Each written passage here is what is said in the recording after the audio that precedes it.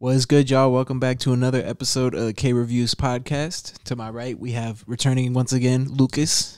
We're going to be talking about Integrated Tech Solutions by Aesop Rock. Yes. Um great album. Phenomenal album. Um, I guess to get started, Aesop dropped the album in 2020, but uh, both of us kind of skipped over it, even though Mhm. we're both Aesop fans. Mhm. Um, I don't know how, but we didn't skip over this one, and um, I think I would say off rip that this is like already one of my favorite albums from him. yeah. Oh Um, my gosh. It's such it's so well crafted and like so spot on. Um he's really come into like who he is, I think. I think so too. I think he's found the perfect balance between like um ex- extremely complex lyricism but still like goofy song topics. Yeah. He does he does find a good way to sprinkle in like just regular stuff. in Yeah. plain ear, Yeah. which is nice.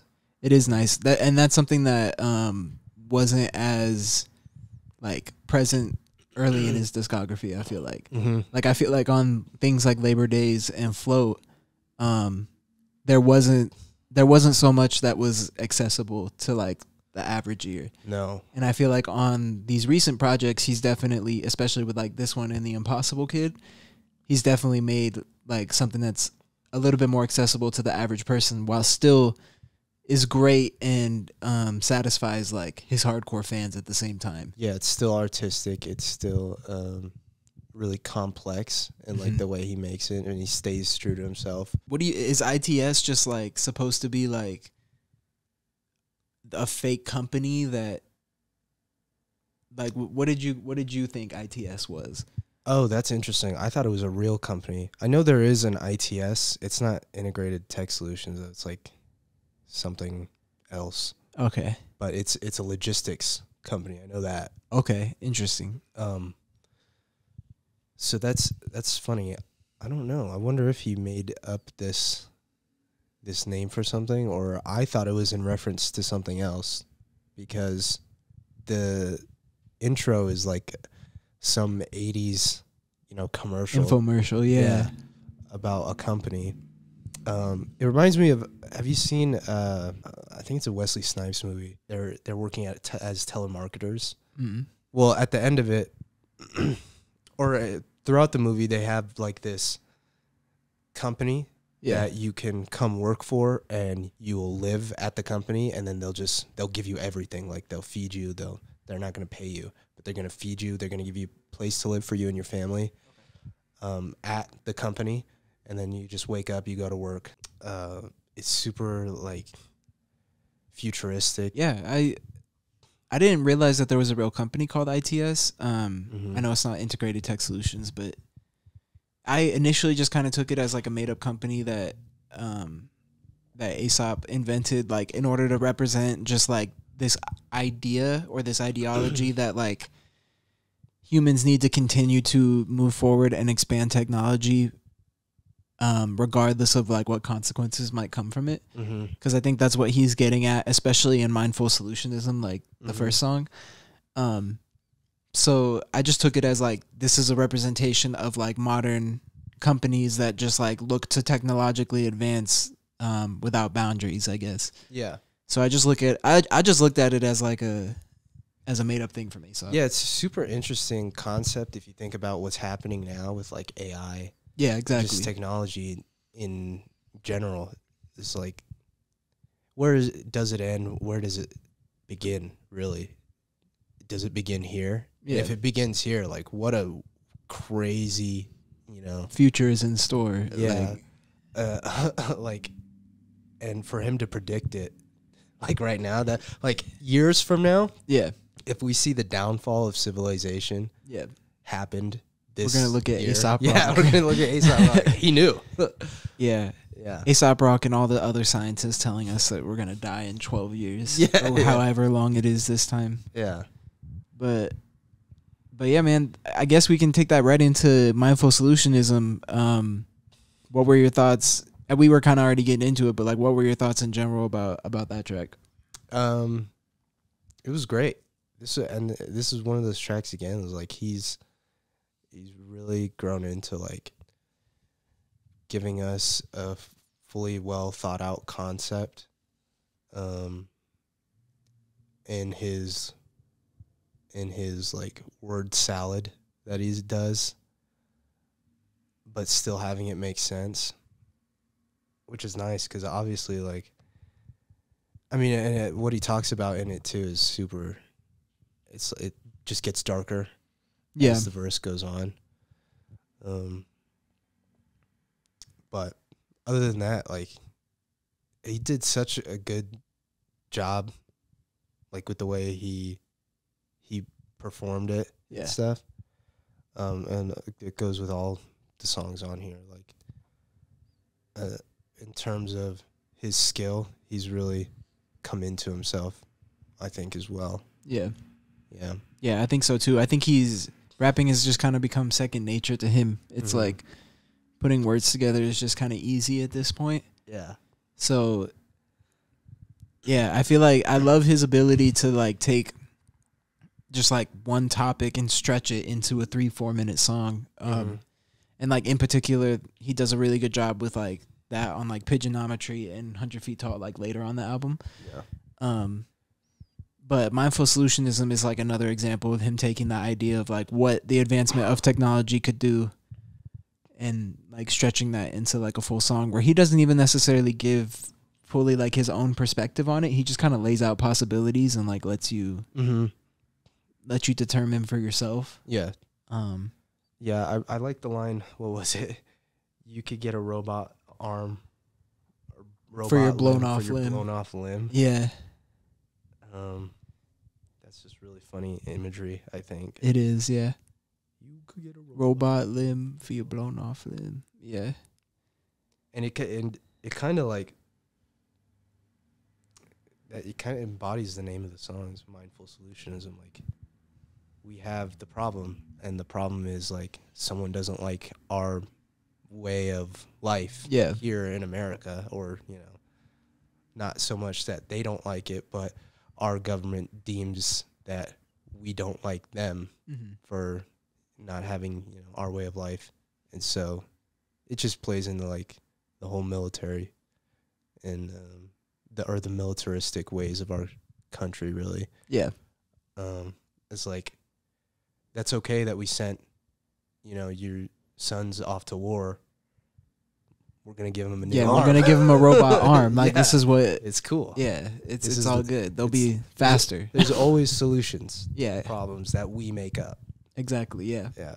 So yeah, and every solution is going to create more problems, in which we're going to then find more solutions for. Yeah. And yeah, Yeah.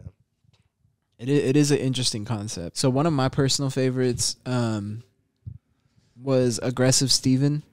Yeah. Um, and that was one of the more like surface level ones. Like that was one of the ones that came across very easy, just because he is telling like a story, so it's very straightforward. Yeah. Um, but it was one of my favorites because I thought the story was told like extremely well and extremely vividly. Like I could see everything he was saying, which I think is a testament to like he's very talented um artist as well, like drawing wise. Yeah. And so I think that's why his rhymes are so vivid because he's literally just painting with his words. Like he's just he has a picture in his mind and Oh, he's that's interesting. Yeah. he's transferring what he would normally put on a pen and paper into how can I describe this with words Yeah. and um yeah he's always super detailed and vivid in his stories like even when he's explaining like when they go into the apartment and he's explaining what his loft looks like like yeah. you can picture his whole loft and everything and the way he describes it and like yeah. yeah so And even like the tenseness of the situation too. exactly Of like, you know, there's some random person inside his house yeah and he's freaking out, but he's trying to say stay strong for her friend, yeah but his friend just freaks out. Yeah. and pretty funny. it's pretty great and it, it has that humor to it too where like the hook is them yelling at him get the fuck down get out it's like that that shit's pretty funny too Yeah. and i love the way he wraps it up because i mean with aesop there's always going to be at least a little bit of meaning even in the goofy shit Mhm. um so like this is an extremely goofy song but by the end when the police officer is asking him like do you want to be the victim and everything and he's like no like this man he doesn't need prison he needs like help like Yeah. and um and uh, yeah, and like he's questioning the system. Yeah, but then but then the cop says to him like, "Oh, well there's there's systems in place, but none of them work. Yeah, It's either that or send him back to the dirt or whatever." yeah. And then Aesop's like, "That's the bleakest shit I ever heard." yeah. He's like, "I don't even have the words." Yeah, Like his, that's his delivery there is really funny. yeah, I I love it. Um so that's like one of my favorite moments on the album uh is that song. Just Mm-hmm. I love the way that whole story unfolds. Yeah, yeah. The way it ends is is great too, and I like what you said about it. like he. al- There's always meaning in his songs. Like it's never face value. Even the face value songs. Yeah. never face value. Yeah. Um, nice.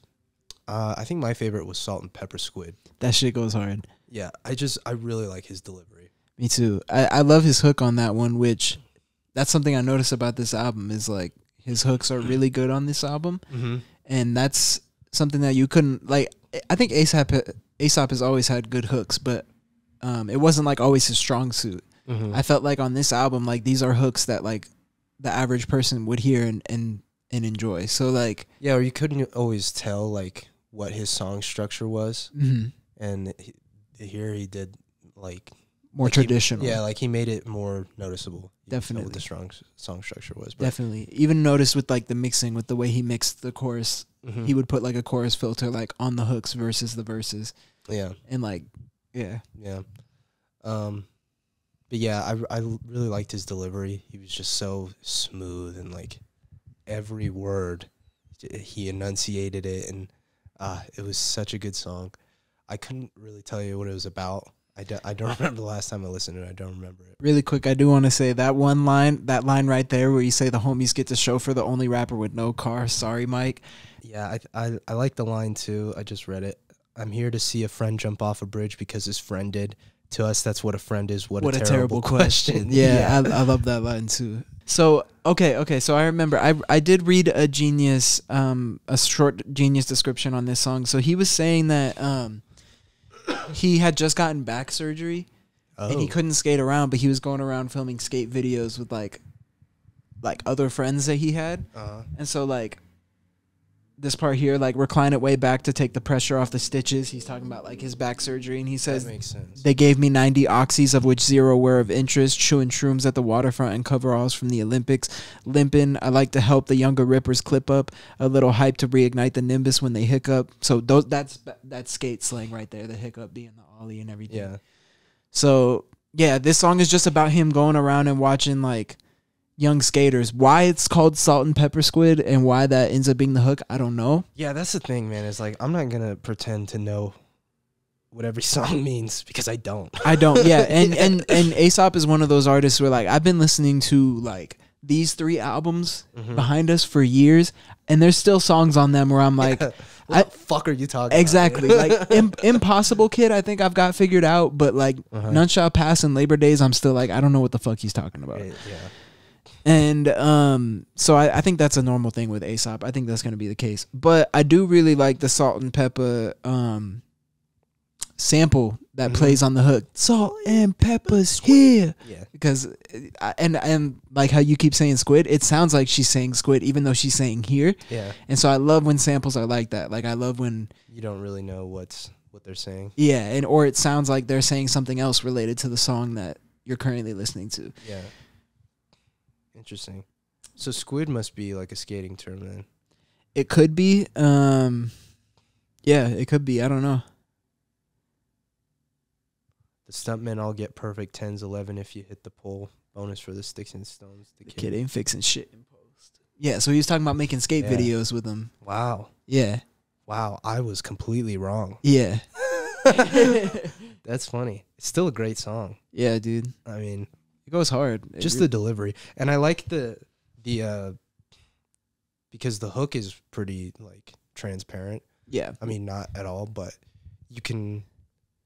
It gives like a sense of what is going on. Salt and pepper squid, like it's a food type item, and I like how that transfers into the next song. Time moves differently here. Yeah, the drive through. Yeah, So it's like it's like high end food versus Yeah. versus fast food, yeah, just shitty like. which plays into the whole artery stuff. technology thing also. Yeah, I think that time moves differently here. It's kind of like uh, that's kind of like um, one of the good things that come out of technology that you know he appreciates, or one of his maybe like uh, um, His guilty pleasures yeah, about it. Yeah, exactly. Yeah. Yeah. Um, and it's great. It's just the whole song is just about food. Yeah, it's literally just him ordering in the drive-through, and he even has like the sample of the of the guy literally talking to him like Yeah. through the drive-through speaker. But even when you think about like how how like you were just saying like how it ties into the greater concept of the album, like even the simple stuff for Ace, like there's still a way to think about it in context with everything else that adds to it. Yeah. Yeah. And at the same time, like he's he's uh wrapping off his order and stuff and about all this food. But it's also just like uh kind of the idea that us as Americans have so many options and it's we have so much to stuff ourselves with. It's Yeah. like it's overwhelming Yeah. and it's not always a good thing of like you know you can get whatever you want all the time Exactly. Cuz you can you can uh overindulge. yeah yeah Yeah. yeah that's a good word for it he's, he's basically overindulging the Yeah. song with He orders everything on the Yeah, fucking menu. everything on the menu. and I like the part where he says, "Add a pie, give yourself to the dark side," because yeah it, like you said, guilty pleasure. Like it's something that he knows is wrong, but Mm. he just can't help himself. Like it's so easily accessible to him. Like why Yeah. would he not? yeah and he does uh, he does this in like another song i'm pretty sure uh, a hundred feet tall Yeah. So that's the Mr. T track. That's another one of my favorites. Um, I love everything about that track because, again, the way he tells the story, it's like I see everything he's saying. Mhm. There's the humor to it. I love the way the hook plays in yeah to the because it's the hook is just Mr. T's slogans. yeah No fools, no suckers. yeah Be good to your mother, and I it's it's goofy in the way that like only Aesop Aesop can pull off and have it be like still Like, hard yeah have it have it have me still want to listen to it all the yeah time like about him as a child being seven or eight Yeah, and meeting Mr. T yeah Yeah. his childhood hero and even just like the way he his family, you know, his family going out to eat. Like that's not really a hard thing to rap about. dude the opening lines of one time I met Mr. T in New York in the 80s. I was 7 8ish waiting for a table at Carnegie with my family who did not always agree on what was wavy but would shut up once a week because we loved our fucking A team. I Yeah. love I love the way he opens that shit. Like he describes our family didn't bond over much, but we bonded over fucking A team. So seeing Mr. T is a big fucking deal to us. Yeah. Like he just paints this picture that this is like a huge moment for them, even though it's such a mundane or like goofy thing Yeah. from the outside. Um, I like in the middle when he um he explains where he was. Uh, when he says it takes a place like this to fill Mr. T up. yeah, it? For those of you who don't know the establishment, they're famous in Manhattan for serving gigantic sandwiches. Yeah, it's good. It's really good.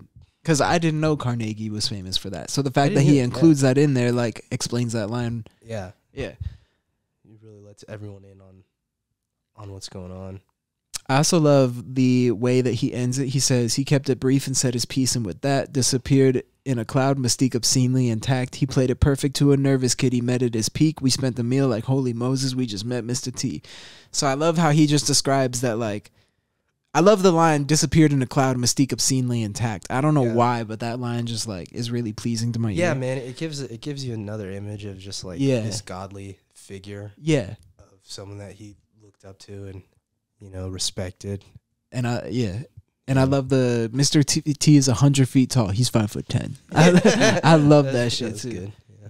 It's very good. And and in the last verse, the way he wraps it up after he's talked about the meeting, um, he wraps up, wraps up the last verse saying like all the stuff that Mr. T then went on to do after their encounter, like how he beat cancer and Yeah. how he's still on Letterman saying he's mostly a bodyguard. Yeah.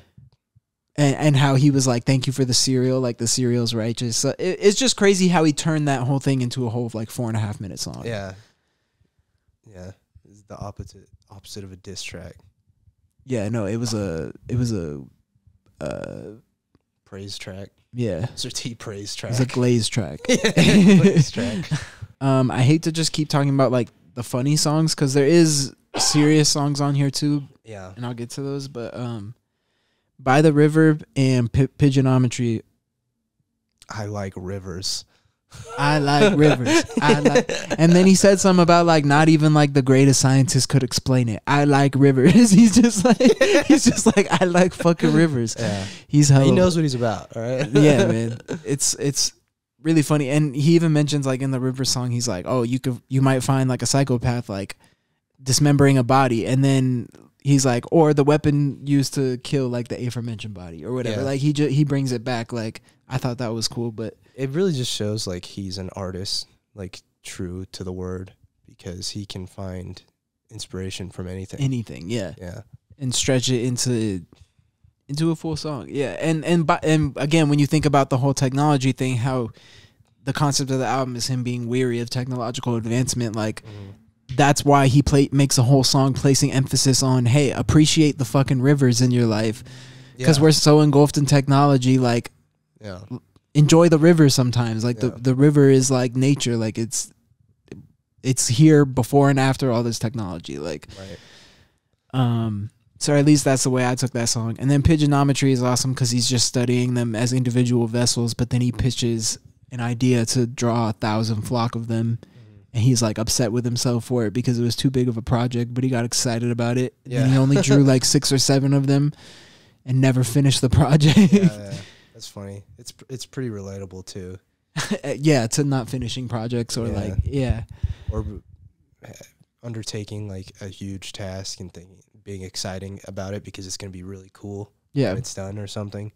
Or you'll be really cool with your progress and then just being overwhelmed by the actual amount of work. once you actually have to do it. Yeah. Yeah. I guess uh, to get into some of the more serious songs, I appreciated um, Vititis. Uh-huh. That's about his grandma, who's from Lithuania, I think. Mm-hmm.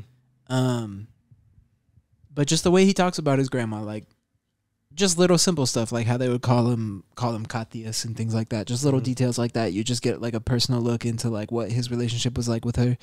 And then when she passes away and he gets the phone call, and like his first response is, "Who the fuck's supposed to make the dumplings?" Yeah. and it's just like it, it was it was like wholesome, but it was funny, but it was sad at the same it's, time. it's like, humanizing, yeah. yeah, very. So um I liked I liked that one a lot. Um I thought that was cool. I don't think Aesop talks much about his family. When he does talk about his family, it's in a humorous sense. Like Mhm. well, the actually- the Mr. T song. yeah, like the Mr. T song or um the song Grace off Skelethon, but there is some moments where he talks about like his relationship with his mom and stuff on other albums. Mm-hmm. But it was interesting to just hear him go in depth on a family member in a song, kind of like Blood Sandwich on Impossible Kid, how he talked about his brothers. Mm-hmm. Like it was just cool to hear him have a dedicated song to a family member, because he doesn't usually get super personal like that. On failure. That one's awesome too because Yeah. Yeah, it I was heavily interesting. relate to Van Gogh. Yeah. Um, it was cool format too. He just kind of talked, which he's also a poet, so Yeah, um, it makes sense. It's on brand for him, but it's not really something that you see often in albums. Is a spoken word Yeah. like, but I think it was good because it made that one stick out more, and I think what he's saying on that song um, is important, especially for going into the second song or the song that follows it. I mean, Solid Gold, because he's talking about how um, during his life, Vincent Van Gogh was perceived as a failure, but he was obviously successful after his death because people appreciated his art. Um, but the person who wrote the Wikipedia article is is basing failure simply on monetary value. Like Van Gogh wasn't financially successful, therefore he was a failure. And then the song "Solid Gold" is Aesop portraying like a thief who just is just basically the same way, like just views like how much money you have as success. yeah, And so then it begs the question of like, is is steal if you're stealing to get the money, is that financially successful or are you just a piece of shit, basically? yeah, And I think he uses that to like scope out to like capitalism at large too. mm-hmm. But um I thought it was important for the message of on failure to stick out at that point in the album. And I think doing the spoken word was a way to make that happen. Yeah, yeah. It's it's definitely um, plays into the album too. Is like the definition of, of success now, especially now, has changed with so many like online jobs and stuff, and like you could be successful at home Yeah. just laying around in your pajamas all day typing at a computer. Yeah. Whereas Vincent Van Gogh was literally, you know, putting his physicality into his art, Mm-hmm. like the probably the less the least physical thing on the planet to do for a job, Mm-hmm. and he was he was putting everything into it, Yeah. and he still wasn't successful Yeah. according to the Wikipedia page. Yeah. until years later. So it's interesting to see, you know, the dichotomy of that. Yeah, I I really liked how those two tracks were next to each other and how they played into each other because there's still a lot on this album that I don't understand, but that's a part of the album that I definitely felt like I had a grasp on, hmm and um, I felt like I wouldn't have picked up on it as quick if "On Failure" wasn't spoken word because I Mhm. feel like that made the message of that song get get through much easier and made it easier to understand the one that followed it. hmm forward compatibility engine. The one with Rob Sonic, that's the one where he said, "Jade, stop this crazy train." I don't know what that one's about. If I'm I don't either. yeah, I have no clue what that one's about. Oh, I was just gonna say that I um I kind of had an idea of all these songs a week ago, and then I got sick, and I was just fucking dying, shitting, Yeah, not a good time. fucking barfing all over the place. So from that first verse, what I kind of take away is like, um, everyone thinks that they know what's going on, but it's really someone else pulling the strings. Oh, okay. And I think it Stupefied kind of face of a driver in the moment he realized he is ultimately just another passenger. Like he has no control. Yeah, and then waving at the mountain goats and should have hired a Sherpa crowd. Ah, okay, okay. Okay, yeah, I think you're onto something there. Yeah. So for the uh, when I think about forward compatibility engine, I don't know if this is what he's referring to, but my mind instantly goes to video games Uh-huh. and like, well, no, because that's more backwards compatibility. That's not necessarily forward compatibility. Mm. I, yeah, I Um, see what I see what you mean. What what it means to me is like forward compatibility engine. The only way to move forward is if we have sheep, people who are willing to give up their morals and stuff to To work, yeah to work forward the cause Uh-huh. of someone else or something. You know what I mean? okay, and that's the engine is like just finding people who don't care enough for a paycheck or something like that. mm-hmm. Um, I don't know who Jane is. yeah, I, I don't know, man. is Jane? I'm not gonna lie. This is one where I'm definitely. That's got to be like it. some reference to something, like some I'm like some show or something. I would check my Rap Genius, but my phone's over there, so I I can't. But I do not have Rap Genius downloaded, so chalk it up to one of the songs we don't know. I thought Black Snow was a really cool ending to the album. I thought it was cool to hear Nikki Jean because I'm used to hearing Nikki Jean be on some of my favorite tracks on like Lupe Fiasco albums. Yeah, Um, it was cool to hear her with Aesop. I always think she she does a good job meshing with rappers. I feel like um and and doing female hooks for rappers. So Mhm. it was cool to hear her on the closing track for this one. Um, and this one is it's this that song is caked in metaphor, but in general, um, I think I kind of get the essence of what he's talking about. I don't know fully what he's talking about, but yeah, yeah. now that I'm like reading in depth here, but um, I kind of got the impression that the Black Snow in general was just like this general sense of negativity that like is always kind of there, and you just kind of have to continue to exist and live life regardless. Like you have to find a way to be at peace with hmm What comes down? with yeah with what exactly yeah. Yeah. That was kind of the impression I got from it. Um, This was my least favorite song, I think. okay, just because I'm not really a fan of the the rapping and then the slow sing hook. okay, It's okay. I just I don't know. It seems played out to me. I could see that. Um, I definitely do like it to end the album just because there isn't another song like it Yeah, on the album. that was Um, nice. I because if this would have this would have kind of killed momentum for me if it was like in, the, middle. Yeah. yeah. I think it's a good uh, send off to. It, it, it's a, it's a little bit of a signifier when you get to this song that this is probably the the end end. of the album. yeah. Um, like I didn't even have to necessarily look at the track list to tell like when it came on at first that this is probably because it does it does do that. It kind of kills all the momentum, which um, maybe that's what he was I- trying to do. Yeah, well, I, I, it's definitely meant to be like a slower, more abrupt like Uh-huh. stop in the album. Like it's definitely hmm the album is kind of writing the entire time up until this song, so it is like an abrupt like this is the ending. Yeah, The only time you really get something more like soft like that is, is like Vititis, which is the song right before it. So hmm it's just kind of a wind down. Um, what about Kyanite Toothpick? so I love the beat on that one. Um, it maybe because of how much I listened to the album, the hook did kind of get a bit repetitive to me. Yeah, I can see that. Um, but other than that, like it's another song I love. I favorited every song on this album on my Apple Music. So Nice. I mean, every song on the album I fuck with. yeah.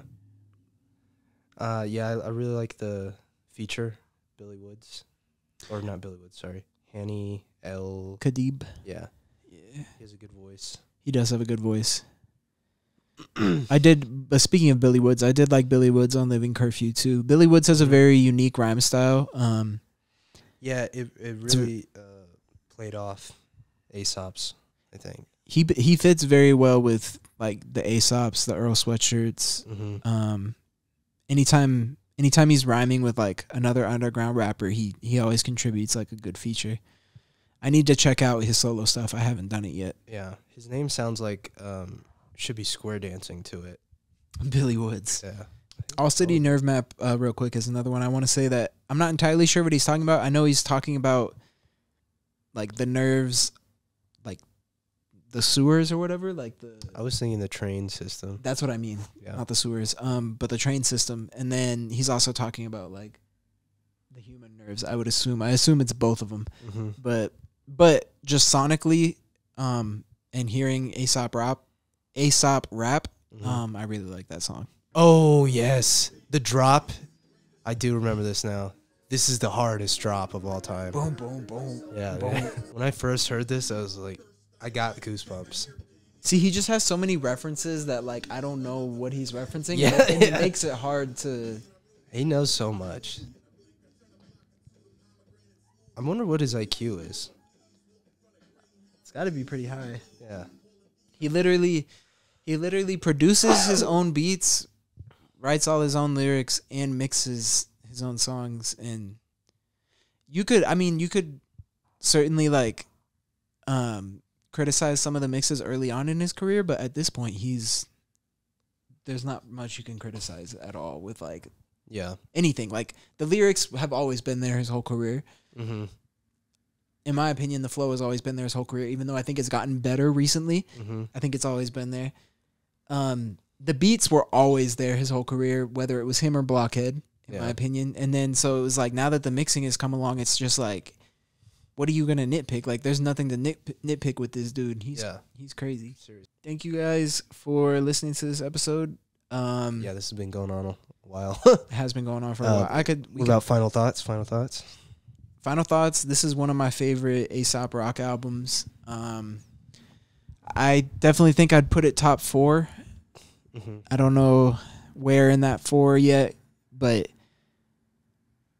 um, I actually went back and listened to the one that came out in 2020, Spirit, Spirit World Field Guide. Mm-hmm. Um, I fucking love that one. That's another one of my favorites. None Shall Pass and Impossible Kid are, are the other two that are like my favorites. Yeah. I'd say those four are. I put it in the that tier with those ones. Um, I I love everything about this album. This is probably like my second favorite album to come out this year. Yeah. Yeah, this is probably my favorite album of the year. Um, just because it was kind of unexpected. Yeah, for me too. So, yeah, g- great album. Uh, Keep doing what you're doing. Yeah. If you see this Aesop, good shit. I've been studying you like religiously for the past like three weeks, trying to become a better rapper myself. So I appreciate your art. And as we say at the end of all these, suck my